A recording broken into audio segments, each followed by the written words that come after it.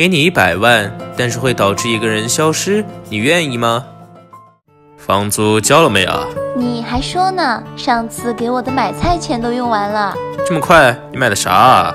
你以为呢？家庭主妇这么好当啊？钱也不好赚呐。你去开门。你是？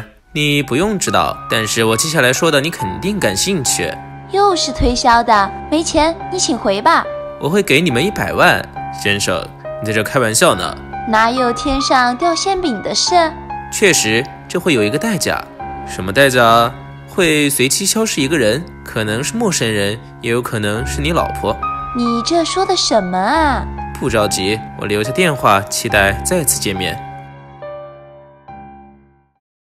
怎么这家店这么贵？都让你别吃这家了。你说，老公，我们要不要试试那个？你还真信了啊？反正试试也不会怎么样吧。现在打电话给他吗？赶紧的吧。我带了一百万，同时我也使一个人消失了。真的吗？我们今晚要去吃一顿好的。看来那个人是陌生人了，期待下次见面哦。老公，我们今天去哪吃？听说有一家五星级酒店牛排不错。